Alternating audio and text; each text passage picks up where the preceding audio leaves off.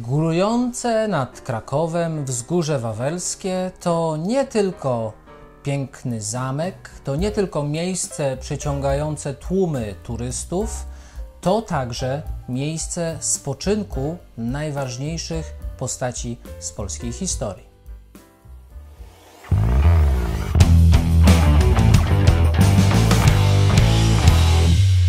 Drodzy, witam Was gorąco w dzisiejszym premierowym, oczywiście, odcinku naszego cyklu dawno temu. Serdecznie Was zachęcam do tego, żebyście subskrybowali nasz kanał. Oczywiście, jeżeli on Wam się podoba.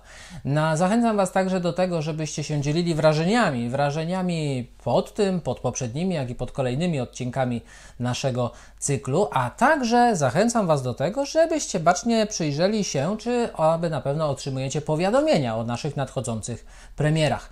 Tyle tytułem ogłoszeń informacyjnych i moi kochani, Wasze oczywiście e, wprawne oko już z pewnością zauważyło, o czym rzecz dziś będzie, a będzie o wawelskim cmentarzu. Tak byśmy mogli e, górnolotnie troszeczkę określić e, nasz piękny, narodowy, słynny zamek na Wawelu, ale nie tylko zamek, bo wiem, oczywiście turyści nie przyjeżdżają tam li tylko po to, by podziwiać architektoniczną perełkę Krakowa, nie tylko aby podziwiać widoki, ale także aby odwiedzać groby, aby odwiedzać groby tych ludzi z polskiej historii, o których uczyli się na jej lekcjach, o których czytali w książkach i mają tam właśnie na Wzgórzu Wawelskim możliwość podpatrzenia jak ci wielcy polscy e, władcy chociażby, e, w jaki sposób zostali pochowani i jakież to tam właśnie groby, sarkofagi i nagrobki się znajdują. Dlatego dziś słów kilka mm, o e, tej kwestii. Moi drodzy, górujący nad Starym Miastem w Krakowie zamek na Wawelu przez wieki był siedzibą polskich władców. Oczywiście nie jest to żadnym zaskoczeniem, ale był także siedzibą administracyjną, naukową i kulturalną całego kraju. Przecież pamiętamy, że Kraków przez wiele, wiele, wiele lat był stolicą naszego państwa. Jako świadek najważniejszych wydarzeń w historii Polski został praktycznie niezniszczony mm, podczas II wojny światowej. No i wiemy też, że w tych mrocznych czasach II wojny światowej to właśnie na Zamku Wawelskim swoją siedzibę miał owiany bardzo mroczną historią Hans Frank, czyli generalny gubernator e, i to między innymi właśnie na Wawelu przyjmował bardzo kontrowersyjne delegacje, chociażby delegacje no, takiego bardzo specyficznego ruchu, czyli Goralen Wolku. I tutaj w tym miejscu, jeżeli klikniecie, możecie odnaleźć jeden z naszych poprzednich odcinków dotyczący właśnie tej specyficznej i kontrowersyjnej kwestii. Moi drodzy, przejdźmy w naszej opowieści dalej, bowiem znajdujące się na wzgórzu wawelskim katedrze, bo wzgórze wawelskie to oczywiście nie tylko zamek, ale to również, a może i przede wszystkim katedra, odbywały się najistotniejsze wydarzenia w historii Polski. Nie ulega to żadnej wątpliwości. Były to oczywiście koronacje, królewskie śluby oraz pogrzeby, czyli temat no, naszego dzisiejszego zainteresowania. Do historii przeszły uroczystości związane z pogrzebami, a wykonane sarkofagi i pomniki, czy też płyty nagrobne są do dnia dzisiejszego podziwianymi arcydziełami przypominającymi o trendach w sztuce na przestrzeni wieków. Bowiem, moi drodzy, sztuka funeralna, czyli związana z pogrzebami chociażby, czy też z no właśnie całą otoczką popogrzebową jest bardzo potężną gałęzią, jeżeli chodzi o sztukę. Są specjaliści zajmujący się właśnie li tylko i wyłącznie sztuką funeralną, a my dziś chociażby na Wawelu możemy jej niektóre elementy oglądać. Pierwszy kościół, pierwszy kościół na wzgórzu wawelskim zbudowano niedługo po ustanowieniu tamże biskupstwa, a miało to miejsce naturalnie w roku tysięcznym. To też wszyscy pamiętamy z lekcji historii. Powstałą na jego miejscu w XII wieku katedrę romańską, która została zniszczona podczas pożaru, zastąpiła zachowana do dziś katedra gotycka. No właśnie, mamy delikatny, delikatniusieńki rys historyczny. Obecnie kilkanaście bocznych kaplic e, i znajdujące się w podziemiach katedry krypty są miejscami pamięci bądź pochówku królów oraz osób uznanych za zasłużonych. I to właśnie to miejsce pochówku jest jakże mocnym magnesem, które mm, no właśnie przyciąga y, wielu, wielu turystów do Krakowa. Moi drodzy, tak gwoli ścisłości, Kraków oczywiście nie jest sponsorem dzisiejszego odcinka. Odcinek traktujemy wybitnie historycznie. Przechodzimy zatem krok dalej, bowiem pierwsi władcy odrodzonego Królestwa Polskiego, czyli władcy po roku 1320, i tutaj też nie ma wielkiego zaskoczenia, bo przecież wiemy, że mówimy tutaj o czasach Władysława Łokietka, który po no, wielu latach wreszcie podjął się tej karkołomnej próby scalenia państwa polskiego, mm, po tym jak z kolei w 1138 roku Bolesław Krzywousty państwo polskie podzielił wedle swoich synów. Mieliśmy do czynienia z tak zwanym rozbiciem dzielnicowym. Swoją drogą, jeżeli jesteście ciekawi historii rozbicia dzielnicowego, tematu dosyć ciężkiego, ale bardzo, bardzo interesującego z drugiej strony, dajcie znać w komentarzach. Pewnie e, ta kwestia zagości na naszych łamach. No i właśnie od tego czasu, czyli od 1320 roku, aż do śmierci króla Jana Olbrachta, czyli do 1501 roku,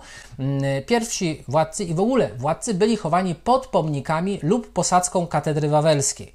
Pierwszą kryptę zbudowano pod kaplicą zygmuntowską i to też ma wielkie symboliczne znaczenie. Moi drodzy, krok dalej w naszej dzisiejszej historii ma, ma, mamy tutaj do czynienia z Władysławem Łokietkiem, już przeze mnie wspomnianym. No i jeżeli chodzi o miejsce jego spoczynku, to gotycki kamienny nagrobek, on powstał najprawdopodobniej w latach 1341-1346. No i jego fundacji yy, wszystkie znaki na ziemi i na niebie wskazują, że podjął się syn Władysława Łokietka, czyli słynny król Kazimierz III Wielki, ten, który zastał Polskę drewnianą, a zostawił murowaną, jak mówi nasze polskie przysłowie. Moi drodzy, twórca nagrobka y, Władysława Łokietka nie jest współcześnie znany, ale wiele wskazuje na to, i tu znowu sztuka funeralna wchodzi nam e, w grę, że tenże twórca mógł wywodzić się z Hesji. No właśnie. Moi kochani, ale jeżeli chodzi o grób Władysława Łokietka, to jest rzecz dosyć świeża, bowiem Oczywiście nie rok jego pochówku, ale cała kwestia grobu Władysława Łokietka jest rzeczą świeżą, bowiem w roku 2019 rozpoczęto specyficzne badania. Badania na Wawelu, badania grobu Władysława Łokietka. Celem naukowców było zbadanie, czy w przyszłości będzie można dokładnie zbadać miejsce pochówku Władysława Łokietka, no i czy uda się pobrać materiał genetyczny z jego grobu. No, 2019 rok, całkiem niedawno. Moi drodzy, dzięki specyficznym badaniom endoskopowym okazało się, że komora grobowa, w której złożony został król Władysław Łokietek, była dobrze, stosunkowo dobrze zachowana. Jest ona czysta i jedyne osunięcie gruzu, jakie widać w tej komorze, pochodzi z XIX wieku, kiedy to zajrzeli tam kamieniarze montujący cokół na grobie Władysława Łokietka. I dysponujemy właśnie fotografiami, fotografiami wykonanymi dzięki tym badaniom endoskopowym, które pokazują, jak w rzeczywistości ten grób, ta komora wygląda. Przechodzimy dalej, moi kochani. Król Władysław Łokietek został pochowany, co ciekawe, bez trumny. To dosyć ważna ciekawostka. Wszystkie inne średniowieczne trumny królów spoczywały na żelaznych prętach i kiedy drewno i żelazo ulegały oczywiście po pewnym czasie rozkładowi, wszystko wewnątrz się zawalało, ale zupełnie inna historia jest w przypadku grobu Władysława Łokietka. Łokietek został po prostu złożony do komory grobowej. Moi drodzy, w XIX wieku kapituła katedry krakowskiej zleciła podciągnięcie cokołu pod grobowiec króla Władysława Łokietka, jej tutaj cytat, by lepiej był utwierdzonym i kształt piękniejszy otrzymał, jakże piękna XIX-wieczna polszczyzna. Tak relacjonował właśnie tymi słowy ówczesny historyk Ambroży Grabowski. I moi kochani, do wnętrza grobu zajrzeli kamieniarze, ci już przeze mnie wspomniali, przez których oczywiście ten tynk się tam osunął u króla Władysława Łokietka, oświetlając wnętrze płomieniem na drążku i dostrzegli skrzynię o głębokości od 2 do 2,5 łokcia. Współcześnie możemy powiedzieć, że jest to no, prawie 1,50 m, nieco ponad 1,50 m. Moi drodzy, przechodzimy krok dalej, bowiem no, co możemy wyczytać z tych XIX-wiecznych zapisków? Zapisków, które relacjonowały, jak wyglądał grób Władysława Łokietka na Wawelu. Wewnątrz jej spoczywa osoba małej postaci, której twarz okryta jest zasłoną do pasa dochodzącą, a z materii tęgiej, gdyż poruszałem ją drążkiem od stoczka, a odsunąć się nie dała. Ubiór ciała i zasłona są koloru brunatnego, czyli ciemno-orzechowego. Postać otacza pasek w ogniwka, szerokości około cal jeden mający. W ręku trzymała berło około pół łokcia długości, które poruszałem laską od stoczka, a z oporu poznałem, że jest kruszcowe. Kształt jego prosty i robota niewytworna. Zwłoki leżą bez trumny w tej skrzyni kamiennej.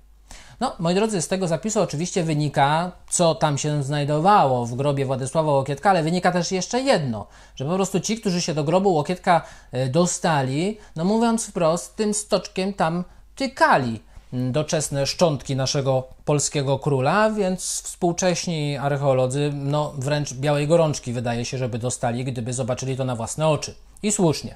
Moi drodzy, w latach 1872-1877 pod kierunkiem Teofila Żebrawskiego, Józefa Łebkowskiego oraz słynnego Jana Matejki, a jeżeli jesteśmy w kwestii Jana Matejki, to w tym miejscu z kolei możecie zobaczyć jeden z naszych poprzednich odcinków dotyczący tajemniczego kodu Jana Matejki, czyli co Jan Matejko chciał nam w swoich obrazach i w symbolice tychże obrazów przekazać, ale wracamy do naszej dzisiejszej kwestii. Właśnie prace pod kierownictwem tych trzech wymienionych przeze mnie dżentelmenów e, prowadzone były w kwestiach renowacji, porządkowania i urządzania krypt królewskich na Wawelu.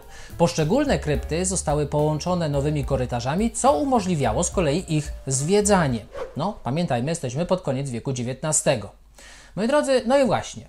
Słów kilka o wybranych grobach wawelskich. Krypta świętego Leonarda, jedna z najsłynniejszych krypt wawelskich. Została ona wzniesiona w latach 1090-1117, tak ją się datuje. Jej wnętrze wspiera się na ośmiu międzynawowych kolumnach z charakterystycznymi kostkowymi kapitelami. Jest to jedno z najlepiej zachowanych wnętrz romańskich w Polsce.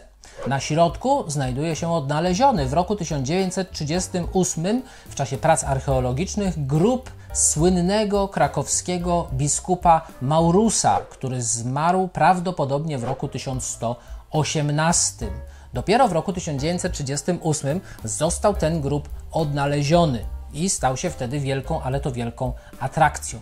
Moi drodzy, król Jan III Sobieski Król Jan III Sobieski, który zmarł 17 czerwca 1696 roku, został pochowany na Wawelu 15 stycznia 1734 roku. Czyli no, Jan Sobieski troszeczkę poczekać musiał na swój królewski wawelski pochówek. Obecny sarkofag, który możemy obserwować na Wawelu, jest fundacją ostatniego polskiego monarchy Stanisława Augusta Poniatowskiego z okazji setnej rocznicy zwycięstwa pod Wiedniem. Oczywiście, no, ten nagrobek, ten sarkofag został ufundowany przez Poniatowskiego w roku 1783, bowiem wiemy, że we wrześniu 1683 roku odbyła się słynna odsiecz wiedeńska.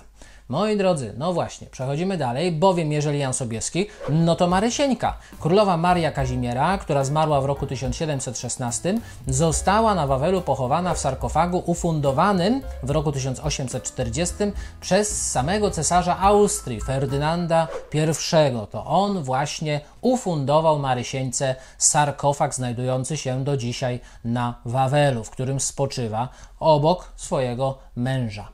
Moi drodzy, król Michał Korybut-Wiśniewiecki, przez historyków, wielu historyków uznawany za jednego z najgorszych polskich monarchów, który, yy, no, nie nadawał się, jak gdyby delikatnie powiedziawszy, do sprawowania tej jakże znamienitej funkcji. Nie miał tyle charyzmy co swój ojciec. Król Michał Korybut-Wiśniewiecki zmarł 10 listopada 1673 roku. Został na Wawelu pochowany w 3 lata później, bowiem miało to miejsce 31 stycznia 1676 roku w sarkofagu ufundowanym z kolei no właśnie, dziś Michał Korybut-Wiśniewiecki spoczywa w sarkofagu ufundowanym przez cesarza Franciszka Józefa I.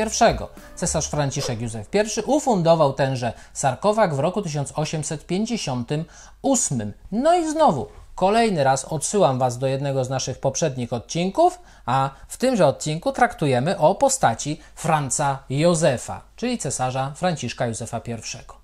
Moi drodzy, po otwarciu w 1938 roku sarkofagu Michała Korybuta Wiśniowieckiego stwierdzono, że wewnątrz znajduje się trumna dębowa ze szczątkami króla owiniętymi w złotolite szaty, rura cynowa z dokumentem potwierdzającym przeniesienie jego zwłok w 1858 roku z kaplicy świętokrzyskiej do krypty świętego Leonarda. Dodatkowo w grobie Michała Korybuta Wiśniowieckiego odnaleziono drewniane berło, co ciekawe, drewniane berło i resztki drewnianej trumny obitej pluszem. Więc wiemy, że Michał Korybut Wiśniowiecki złożon był do trumny obitej pluszem. No, taka oto ciekawostka. Moi drodzy, książę Józef Poniatowski to kolejna postać, która pochowana jest na Wawelu. Zginął w nurtach Elstery pod Lipskiem 19 października 1813 roku. Uroczystości pogrzebowe w Krakowie i na samym Wawelu odbyły się w dniach 22-23 lipca 1817 roku, czyli w 4 lata później. Sarkowak księcia ufundowała siostra Maria z Poniatowskich Tyszkiewiczowa w roku 1830.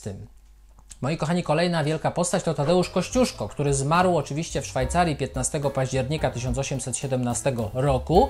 W lutym roku następnego, czyli 1818, uzyskano zgodę cara, cara rosyjskiego Aleksandra I na pogrzeb Tadeusza Kościuszki na Wawelu. Odbył się on w dniach 22-23 czerw, czerwca 1818 roku.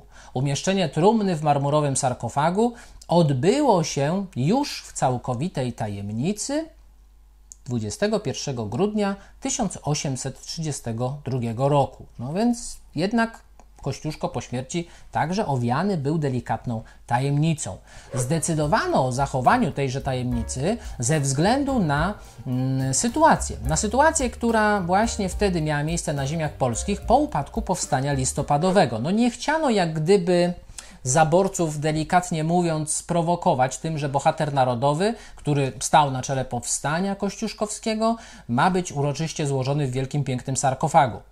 Obok sarkofagu, w którym współcześnie spoczywa Tadeusz Kościuszko, w roku 1977 zawieszono brązową tablicę pamiątkową, która stanowi dar Kongresu Stanów Zjednoczonych w dwusetną rocznicę bitwy pod Saratogą. No bo jak wiemy, Kościuszko bardzo mocno wpisał się także w historię Stanów Zjednoczonych Ameryki Północnej. Moi drodzy, kolejna postać spoczywająca na Wawelu to generał Władysław Sikorski. Generał Władysław Sikorski, który także był bohaterem jednego z naszych poprzednich odcinków. W tym miejscu możecie sobie odnaleźć mm, link do tegoż odcinka traktującego o ostatnim tragicznym locie generała Władysława Sikorskiego.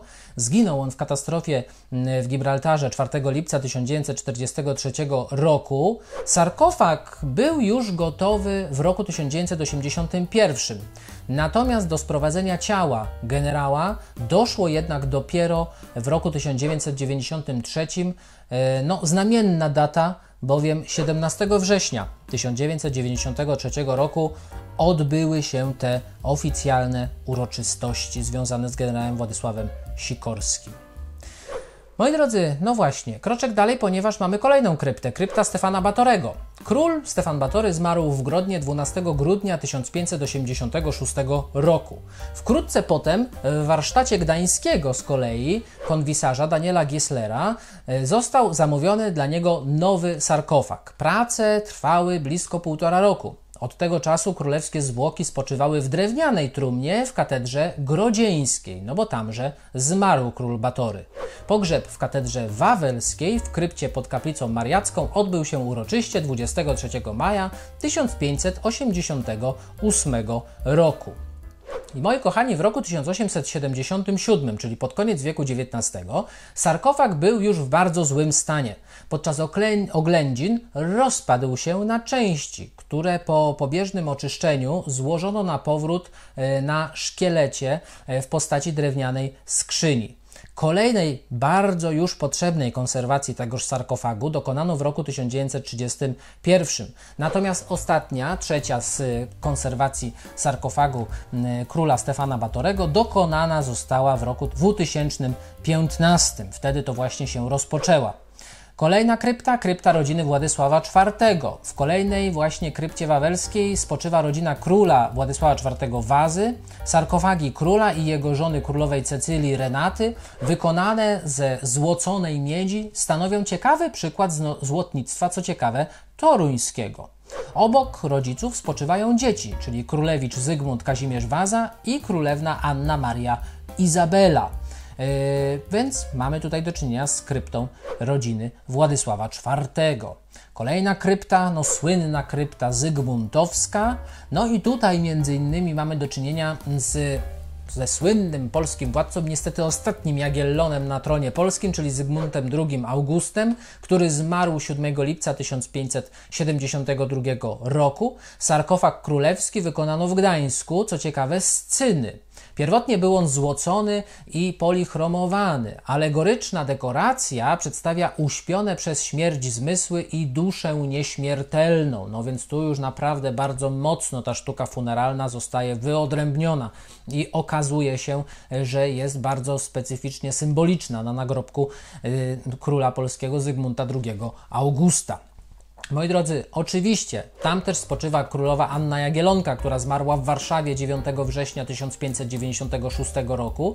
Pogrzeb Anny Jagielonki w Krakowie miał z kolei miejsce bardzo szybko, 12 bowiem listopada 1596 roku Anna Jagielonka została złożona w kryptach wawelskich. Królowa Anna Austriaczka także też tam spoczywa, pierwsza żona Zygmunta III Wazy, która zmarła 10 lutego 1598 roku, a w katedrze wawelskiej pochowana została rok później. Moi drodzy, no właśnie, tam też właśnie w krypcie zygmuntowskiej znajduje się urna, znajduje się specyficzna urna, urna z prochami króla Stanisława Leszczyńskiego który był najdłużej żyjącym polskim władcą. Urna z prochami króla została umieszczona w grobach królewskich dopiero w roku 1938. No, wynika to z tego, że król Stanisław Leszczyński był władcą dość kontrowersyjnym, jak się okazuje. Król August II Mocny także spoczywa na Wawelu. Zmarł 1 lutego 1733 roku. Na Wawelu został pochowany w rok później. Obecny sarkofag, w którym się znajduje, e, powstał w roku 1835, a renowacji został poddany w latach 2019-2020.